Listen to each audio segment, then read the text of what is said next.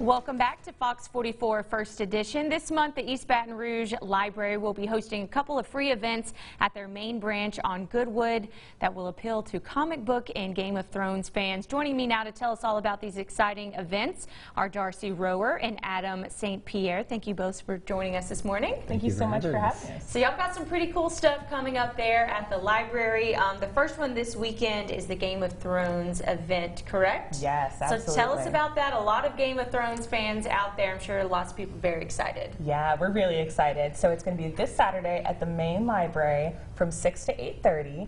Um, it's all ages event. It's totally free. And we're really excited. We're going to have a lot of fun things to do. So what can people expect when they come? Should they come dressed up? I mean, is it going to be a full-on thing? Yes, absolutely. we totally encourage costumes. Um, we're going to have a photo area where you can take a picture in front of an Iron Throne that we've been building, which is really exciting. That's with cool. one of these fabulous crowns. Um, we're going to have like games for kids, craft activities, fighting demonstrations with the Society for Creative Anachronism, um, board games. There's just going to be a ton of stuff to do. You can really dive into the show. I was just telling them in the commercial break, I do not watch Game of Thrones, but I feel the hype from everyone else. So I'm sure it's going to be very, very exciting. Um, do you have a website if people want to learn some more? It is free. Do they need to register or anything like that? They do not need to register. It is free. You can go to the library's website, ebrpl.com, to find out more information about the event. Awesome. And then y'all got another event coming up later this month on April 27th, the MicroCon.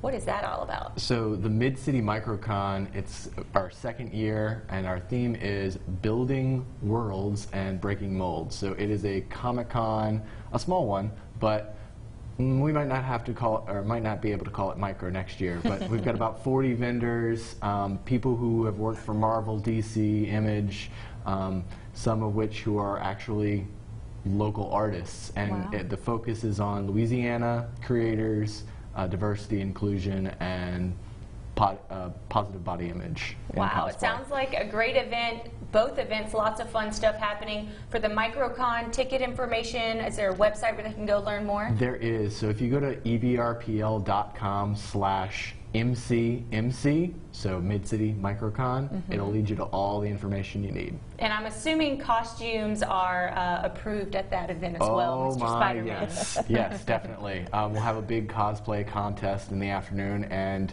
uh, even if you don't come for the contest, we encourage costumes. Costumes obviously. are always fun. yes. All right. Well, thank you both so much for joining us this morning. We're going to have information and the links to the website for you on our website as well. That's brproud.com.